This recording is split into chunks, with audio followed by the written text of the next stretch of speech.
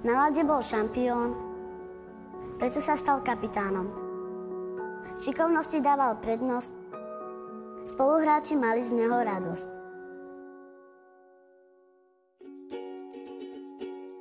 It looks like something out of a fairy tale. Cobblestone streets, a quaint marketplace, all in the shadows of a medieval castle. This is Trenčín, a city of 50,000 people in western Slovakia. Trenčín is known as a city where people dress nice and uh, basically they're making uh, nice uh, clothes back in, in the day. We had like uh, uh, factories where they make dresses and clothes and uh, so this town used to be known for fashion. And then as we were growing up, hockey became the number one sport in this town and actually in the whole country. Tak to samozřejmě byla teraz nepamätám z obede. Jak sme niekedy chodili pravidelne? Since the early 1960s, Trenčín's reputation has been built on a long line of elite hockey players who got their start there.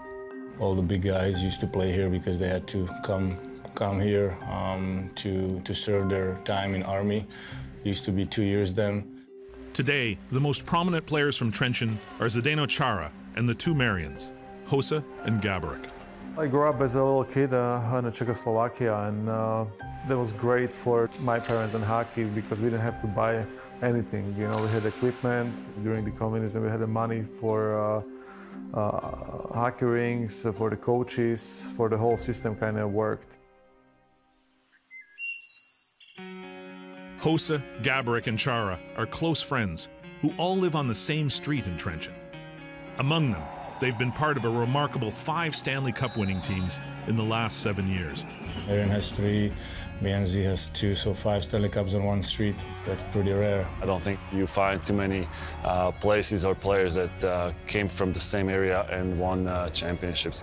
We had a great picture, uh, cup on a street, and uh, you know, three of us in the background. You know, guys from one street winning the cup.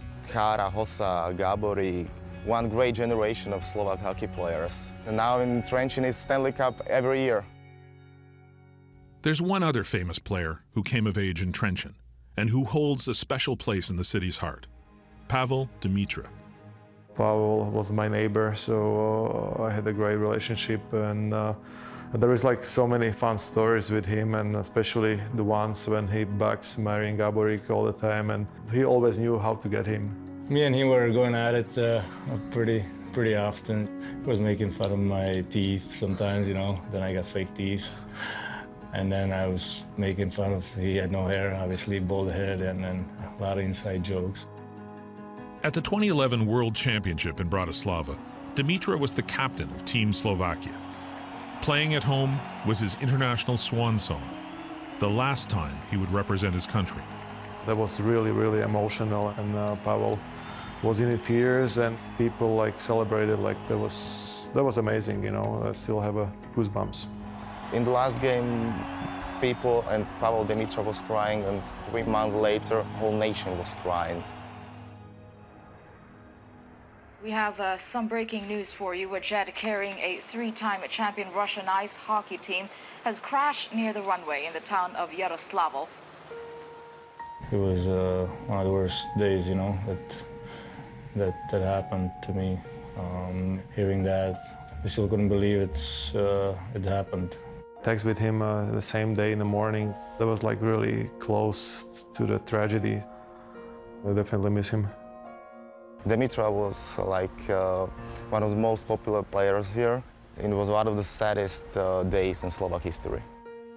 Vždy budem na teba spomínať s úsmevom, pretože tak si žil a nikdy nezabudneme, čo si pre nás urobil a čo si pre každého z nás znamenal. The funeral took place in Trenčín at the arena now named for Demitra. We all know what Pavel meant uh, for this country and, and uh, for, for this town and, and for these people, so it's just a huge honor. There's also a school named after Demitra, a school designed for young Slovak athletes. Its hallways are covered with beautiful poems and pictures created in his honor. Oni ho obdivovali nielen ako hokejista, ale v prvom rade ako človeka. Jednoducho bol to pán kapitán a mnohí žiaci práve kvôli nemu sa dali aj na hokej. The latest player to carry the torch and continue the region's great hockey tradition is Tomas Tatar. He attended the Pavel Demitra's School. Now, he donates his time and money and seems a likely heir to the man after whom the school is named. Pavel was a huge, huge icon of, of Slovak hockey, and um, I think he deserved to be to be mentioned to the kids who he was, and uh, he was a big, big part of sport in Slovakia. Myšlienka na neho stále vrela. V našich spomienkach nikdy neumiera. Za hokejové teraz hrá, aj tak najviac to tu bude mať rád.